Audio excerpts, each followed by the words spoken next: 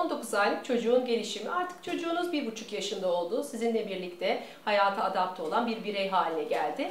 E, bu dönemde aslında biz uyku problemini çoktan halletmiş olmamız gerekiyordu. Yine de şöyle bir gözden geçirecek olursak eğer e, çocuklarda özellikle 3. 4. ay itibariyle uyku eğitimi vermemiz gerekiyor. Genellikle bizler özellikle anne sütüyle beslenen bebekleri hep uyku öncesi emzirerek yatırırız. Dolayısıyla çocuklar emmeden yatmaya alışmamaktadırlar. E, bu böyle devam ettiği sürece emzirme ile birlikte 1,5 yaşına 2 yaşına kadar çocuklarınız emerek uyuma, sallanarak uyuma, ayakta uyuma gibi kötü alışkanlıklarına devam edebilmektedirler.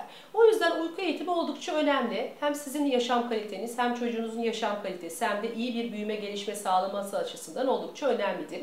Genellikle biz bebeklerimizi hep kucağımızda sallayarak ya da ayakta sallayarak ya da hep emzirerek uyuturuz. Böyle olunca da çocuklar başka türlü uykuya dalmayı bilmezler. Bizlerin de çocukların da yüzeyel ve derin uyku dönemleri olmaktadır ve bu uyku dönemlerinde çocuklar da erişkinler de uyanırlar. Fakat şu bebekler emmeden ya da sallanmadan tekrar uyuyamadıkları için mutlaka bu uyku geçişlerinde uyanırlar ve mutlaka emmek ya da sallanmak isterler.